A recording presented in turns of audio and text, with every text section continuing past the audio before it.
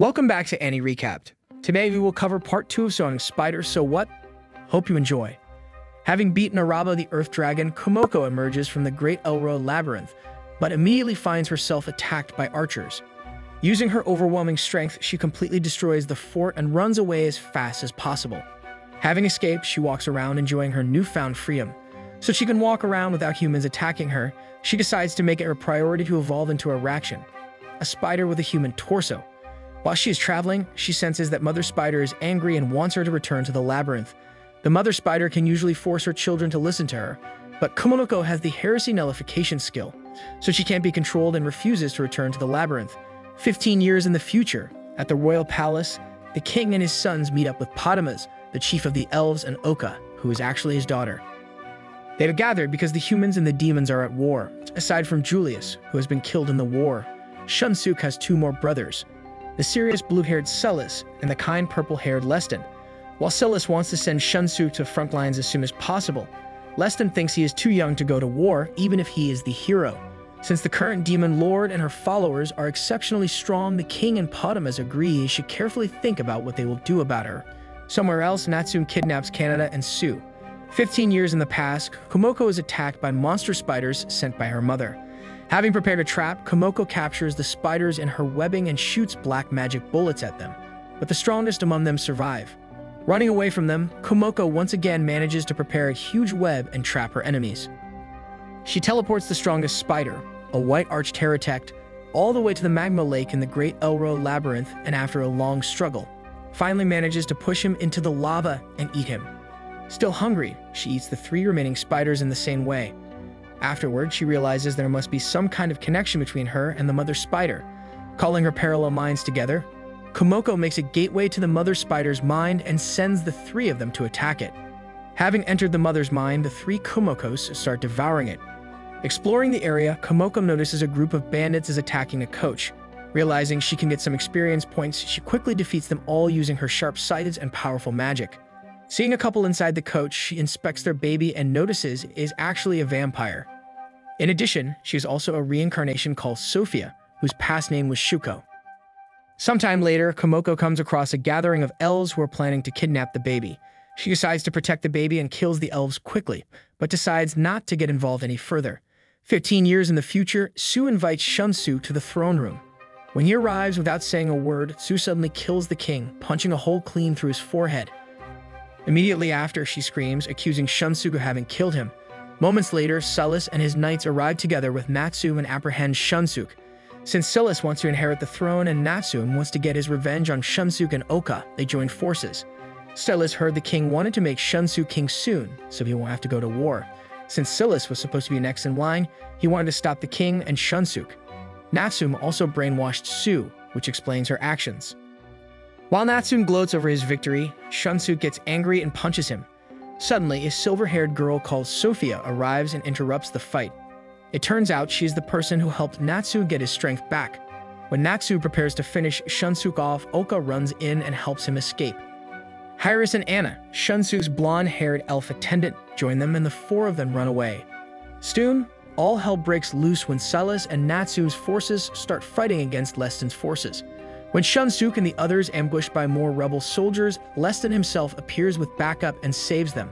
Having finally escaped, Oka reveals that the followers of the Word are cooperating with Natsume and have declared him the new hero.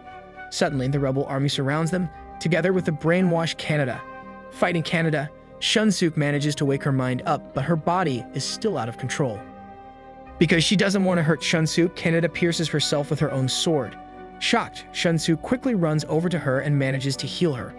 Suddenly, Sophia appears and reveals she has killed Potimas. Looking at her stats, Shunsuke realizes she is a reincarnation, just like him. Since she has the ability to nullify magic, Sophia quickly defeats Oka and grabs her by the neck. At the last moment, Mireille appears and breaks them up, showing off her evolved form, a huge white dragon. Shunsuke and the others quickly climb on her back and she takes them away to safety. Fifteen years earlier, Komoko's three parallel minds continue gnawing at the mother spider's mind but start wondering why she isn't reacting.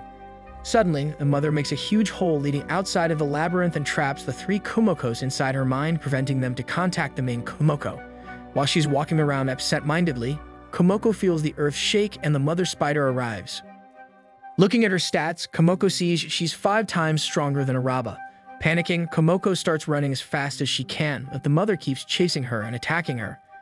Just before she gets hit by one of the mother's spells, Komoko manages to teleport herself to one of her old shelters at the Elroe Labyrinth. However, she is immediately surrounded by five arch Taratects and a horde of small ones. The five monsters start tearing her apart mercilessly, but she manages to get away with one health point. Running towards the volcanic middle of the labyrinth, a creepy six-armed puppet appears and stands in her way. It starts attacking her using incredibly fast sword techniques while the Arch are still advancing from behind. Getting away from the puppet, Komoko launches a massive barrage of black magic bullets at the spiders while she uses a skill called Jinx Evil Eye to keep absorbing her enemies' magic points. When this strategy proves ineffective, Komoko decides to look for the weakest one among the spiders and kill it, hoping to get enough experience to level up and get her health back. All of a sudden, one of her legs gets caught by one of the puppet's strings. The puppet drags one of the arch on top of Komoko, intending to squish her to death. Left with no other choice, Komoko sacrifices an eye to cast Annihilating Evil Eye and kill the spider on top of her.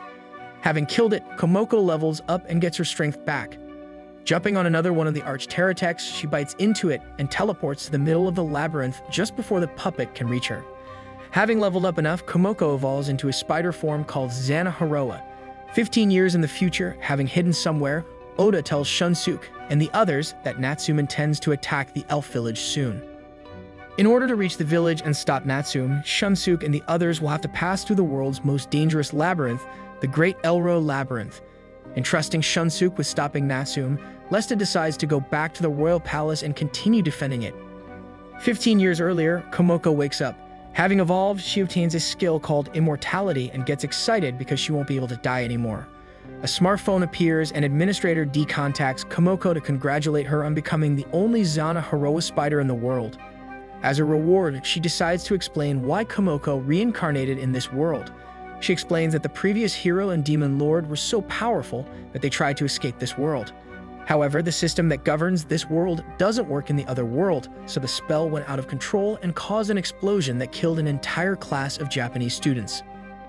Administrator D reveals she is the person who proposed the system in the first place, and she had to correct the hero and demon lord's mistakes. She collected the souls of all the students and gave them skills so they can survive in this world. In addition, she gave them all a special skill that made them reincarnate into the body that best suited their soul's frequency. She praises Komoko for getting powerful much faster than the others since everyone else are just infants. She also admits she's actually one of the reincarnated people, but won't reveal who exactly. Her presence made the hero and the demon lord's magic affect the classroom in the first place, and she even thinks they were sent to kill her back then. Hoping Komoko will continue to entertain her, Administrator D's voice disappears.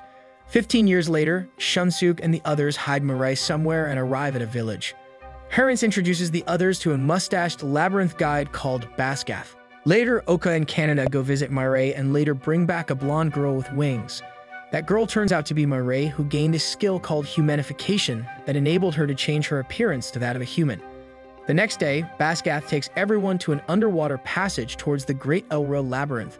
There is the possibility a water dragon could appear, but they decide to take the passage in order to avoid their enemies, the Imperial Guards. While they're swimming, the huge water dragon really does appear, but Mirai distracts it using her flame breath and enables the others to enter the labyrinth. 15 years in the past, Komoko is at a beach enjoying herself. Making a boat out of webbing, she decides to go fishing. A huge water dragon takes her bait, but she easily kills it.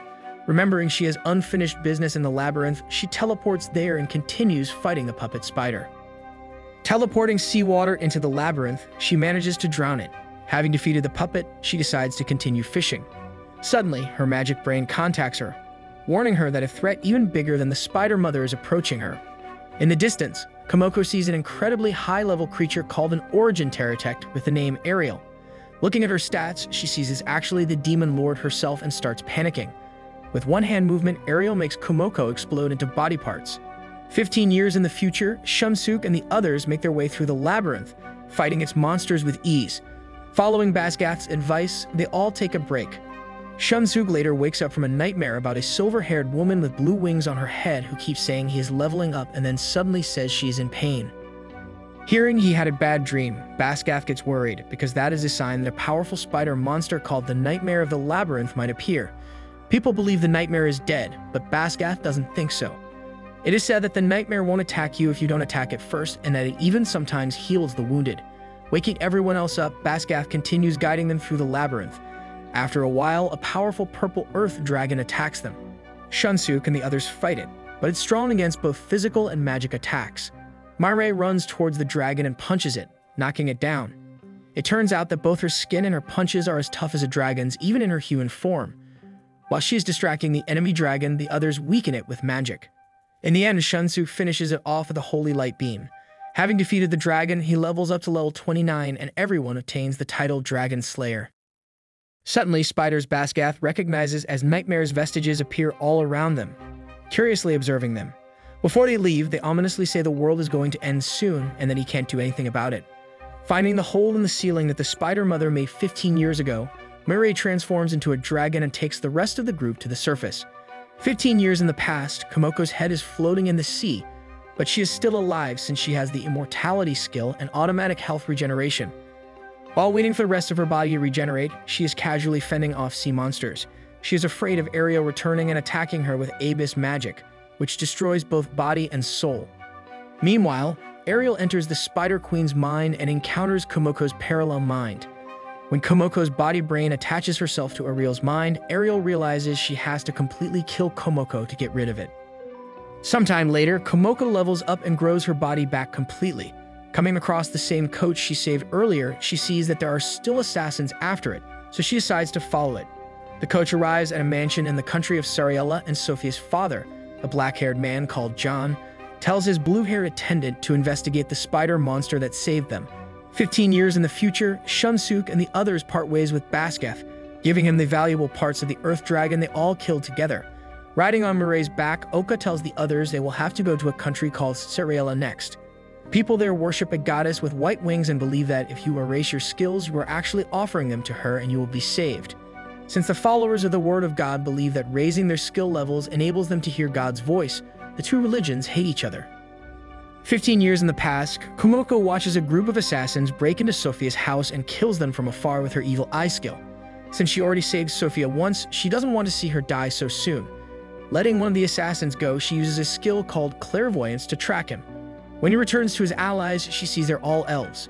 It also turns out their leader is Potimas, he considers both Dustin, the leader of the followers of the Word, and Ariel, the demon lord, his enemies and wants to eliminate them. John, who turns out to be the lord of Karen County, realizes that the spider monster known as the Nightmare of the Labyrinth has saved his family from bandits once again, but he still feels uneasy about it. It turns out that the goddess religion thinks spiders are sacred since the goddess herself was said to have had a spider servant called a divine beast. Finding out about the religion, Komoko remembers that Ariel had the title Ancient Divine Beast. While Komoko was relaxing in a tree, a woman approaches her and asks her to heal her son. Appraising them, Komoko realizes they're both poor and sick. Because she feels sorry for them, she heals them and they immediately feel better. Getting an apple as a reward, Komoko is satisfied. Soon, a huge line of people shows up looking for Komoko to help them, convinced she is the divine beast. Having nothing better to do, she starts helping them and becomes famous in town. Fifteen years in the future, Shunsuke and the others find the teleportation circle that serves as the entrance to the elf village. As soon as they arrive, the elven guard surrounds them, saying humans aren't allowed human in the village. Suddenly, Potimas appears and gives Shunsuke and the others permission to enter the village. Shunsuke and the others are surprised he is alive after all, but he won't reveal how. The next day, Oka everyone to the settlement where she took the other reincarnated students she discovered. The entire class gets together for the first time in a long while, but Oka doesn't join them for some reason. The students living in the village reveal that they have actually been kidnapped and are basically held prisoner by Oka. They don't trust her or the elves at all. Fifteen years in the future, a neighboring kingdom called Oats asks John to hand over the divine beast to them, claiming they have the right to her power. Since Komoko destroyed one of their forts when she emerged from the labyrinth, they want to punish her. Checking how the mother spider is doing, Komoko notices her stats have dropped dramatically thanks to her parallel minds attacking her. She immediately teleports herself to the labyrinth but gets caught in a web and the mother cuts her head off. While the mother is trying to eat her, Komoko's parallel mind returns to her, giving her a huge power boost. Having eaten a big part of the mother's mind, they absorbed an equally large amount of the mother's power. Rising all the way to level 24, Komoko fires an incredibly powerful barrage of black magic bullets, weakening the mother.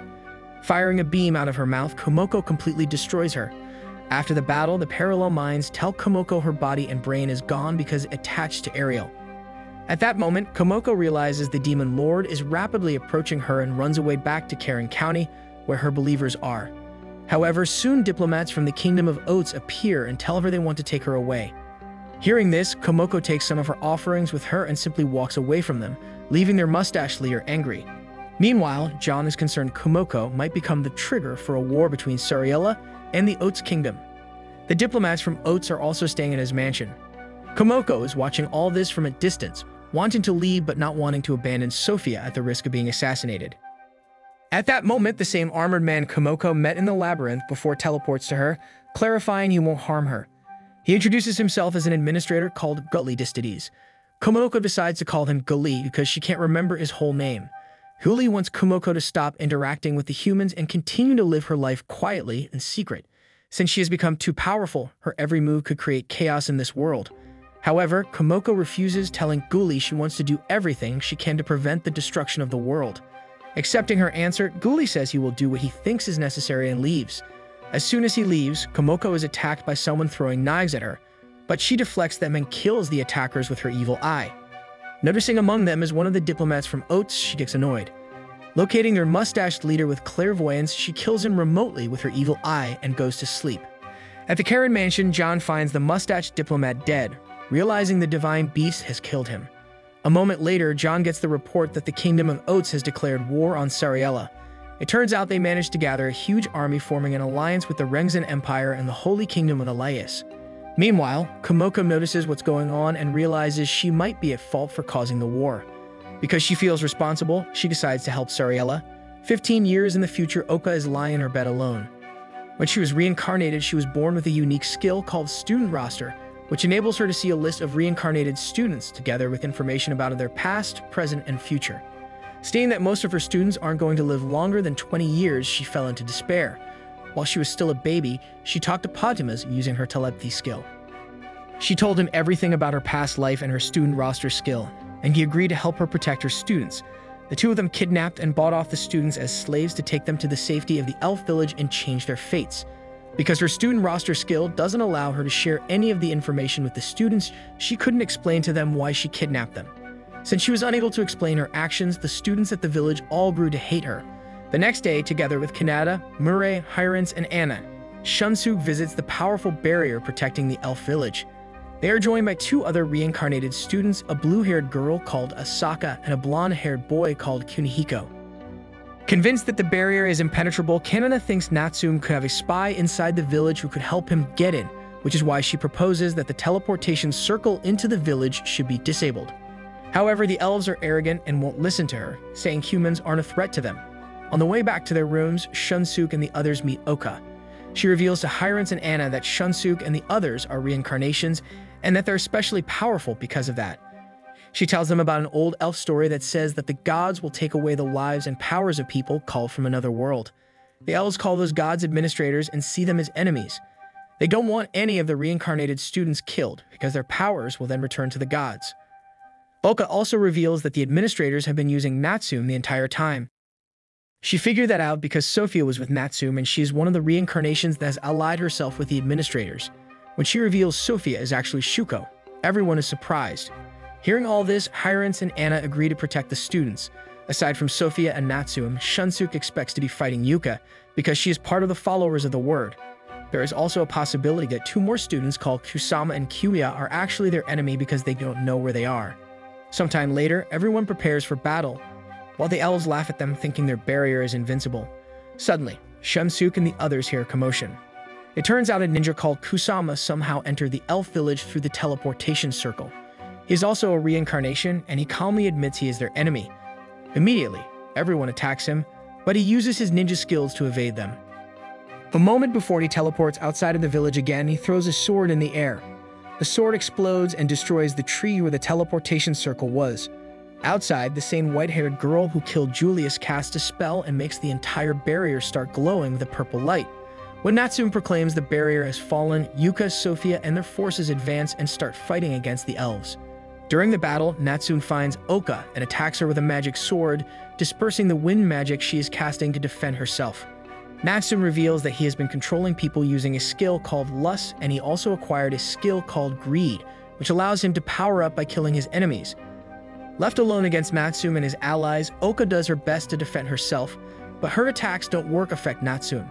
However, she manages to shoot an arrow at his feet and cast a barrier spell through it, trapping him. Unable to breathe because of the barrier, Natsume starts choking, but Sophia arrives and blows Oka away, saving him.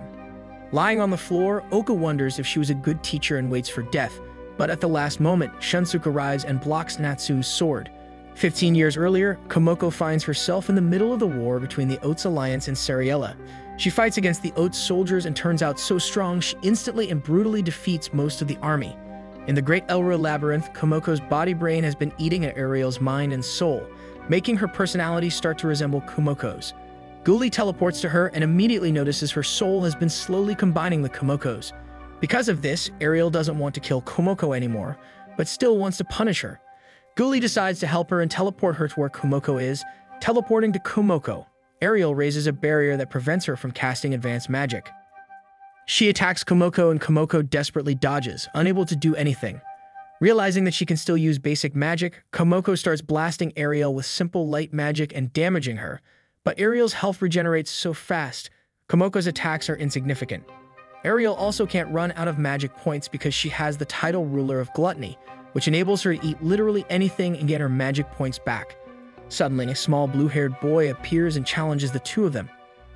Komoko appraises him and finds out that he is the current hero, and that his title gives him the power to slay the Demon Lord, which is making Ariel nervous. Suddenly, a huge fireball appears in the sky and distracts the hero, in that moment, Ariel uses her Abyss magic on Komoko. 15 years in the future, Natsume clashes with Shunsuke. Checking his stats, Mirai sees Natsume's stats aren't very high, but he has a lot of skills. It turns out the Demon Lord's army is following the Empire's army into the Elf Village, but Potimas is already aware of that. He doesn't care what happens to the reincarnated students and sends his whole army to fight. Meanwhile, Shunsuke and Natsume fight fiercely and Kanata notices Shunsuke is much stronger than Natsume. On top of that, Shunsuke has the dragon power skill from defeating the dragon in the labyrinth, so all magic is weaker against him. Natsume is frustrated when neither his swordsmanship nor his magic works on Shunsuke, and he soon gets tired, unable to continue fighting. Natsume says this world was supposed to belong to him, but Shunsuke tells him the world belongs to everyone. At that moment, Sophia appears, together with her attendant, the vampire Merazophis. Kunihiko and Asaka immediately recognize Merazophis as one of the commanders in the demon army, and it turns out Sophia is a commander too. Natsume realizes he has been used, but before he can attack Sophia in his rages, Merazophis knocks him out. Shunsuke starts fighting Sophia, but her magic nullification is even stronger than Shunsuke's, and she has no trouble blocking his attacks. Seeing how strong Sophia is, Shunsuke's group attacks her together, but every one of their attacks is powerless against her. Shunsuke doesn't want to give up, but Sophia just laughs at him. Her master told her not to kill any of the reincarnated students, and she is actually just stalling them, while the rest of the demon army is wiping out the elves. Shunsu continues attacking, but Sophia blocks all his attacks once again. Suddenly, a horned man appears and introduces himself as Kyuya, one of Shunsuke's former classmates and friends. It turns out he is also a commander in the demon army. He reveals that the elves are a threat to the world and that they most probably deceived Shunsuke. When some elves appear and try to take Shunsuke with them so he can kill the demon lord, Kyuya and Sophia attack them, saying they won't let Shunsuke leave. The elves summon a group of fighting robots called Gloria units, and they fire at Kyuya and Sophia. Fifteen years in the past, Komoko is completely destroyed by Ariel's Abyss magic. However, she hatches from an egg in the labyrinth, having previously used the mother spider's egg-laying skill and transplanted one of her parallel minds into one of the eggs she laid. In this way, she can resurrect even when her soul is destroyed. Suddenly, she hears Administrator D telling her she can finally evolve, and she evolves into a Rakshin turning into a human-looking girl with white hair. Fifteen years in the future, Kyuya and Sophia manage to easily deflect the Gloria unit's fire. Summoning a sea of blood, Sophia starts killing the elves and makes the Gloria unit sink. Shunsuke tries stopping her, but he is interrupted by Kyuya, who kicks him away. The horde of elves attacks, but Kyuya kills them in droves using his magical swords. Shunsuke locks swords with him, but turns out to be weak. Anna suddenly runs between them to protect Shunsuke, but gets seriously wounded by Kyuya. Doing his best to heal Anna, Shunsuke levels up, also leveling up his Taboo skill to level 10. With that, Taboo activates and Shunsuke learns the truth about this world. With so much information flowing into him, he writhes on the floor in pain. Having regained consciousness, Natsume attacks Sophia, but she easily stops him and almost kills him in her anger. However, someone appears and stops her. The white-haired girl who killed Julius in the past appears and all the reincarnations recognize her as Wakaba, their classmate who everyone thought was dead since Oka said so. Fifteen years in the past, Komoko evolves into a Arachne, a spider with a human female's torso sticking out. At that moment, all the other eggs she laid also hatch and she gives them something to eat before leaving. Using her clairvoyant skill, she sees Karen County on fire and elves entering the mansion where Sophia is. In the mansion, Jack and his wife don't want to abandon Karen County. John sends his attendant, who turns out to be Merazophis, to take Sophia away and protect her. As soon as Merazophis leaves, he hears the elves invading the mansion and killing Sophia's parents. They catch up with him and shoot him full of arrows, but he doesn't quit. So if he doesn't die, Sophia bites Merazophis, turning him into a vampire. Regenerating, Merazophis easily kills the elves in a fit of rage. Suddenly, Potimas himself shows up and realizes Sophia could become a threat to him in the future and wants to kill her. However, Merazophis swears to protect her and won't let Potimas near her. At that moment, Komoko arrives and punches Potimas, blowing him away. Using her newest evil eye ability called Warping Evil Eye, she distorts space and tears the other elves apart. Potimas gets up, which surprises her because her punch is incredibly powerful. She is even more surprised when she can't read his stats at all. When she tries activating a teleportation spell, Potimas somehow disables her skills and magic. Potimas introduces himself, telling her he sees her as a threat and immediately attacks her. Komoko realizes his ability lowers her stats, but her already active skills and stat boosts still work. She struggles against Potimas, but manages to rip his skin, revealing he is a robot underneath. She remembers this kind of technology brought the world to the edge of doom and realizes she needs to defeat him for the good of the world. Turning his arm into a laser gun, Potimas starts shooting at Komoko and manages to cut her head off. However, Komoko still has her spider head, so she continues fighting. He realizes she can still use her skills inside of Potimas' body, so she breaks his gun arm from the inside. Suddenly, Ariel drops through the ceiling, acting flamboyantly like Komoko would. She asks Potimas what he is doing there, and when he won't tell her, she cuts his head off. Ariel approaches Komoko and instead of attacking her, proposes to make peace with her. She realizes she can't kill Komoko, and since their souls are merged, she doesn't even have the desire to kill her anymore. Komoko happily accepts her proposal. In a facility full of robotic bodies, Potimas awakens as one of them, swearing he will remember Komoko. While they're walking together, Ariel asks Komoko, Merazophis, and Sophia to join her in her fight against Potimas. Realizing she won't be able to save the world if she doesn't defeat Potimas, Komoko agrees to join Ariel. Merazophis also agrees to join Ariel and go to the demon realm with her since he and Sophia will be safer there. Ariel proclaims that they will become the heroes who will save this world and cheerfully leads them toward demon territory. Thank you so much for watching. If you enjoyed it, make sure to hit the subscribe button for more similar content. Bye.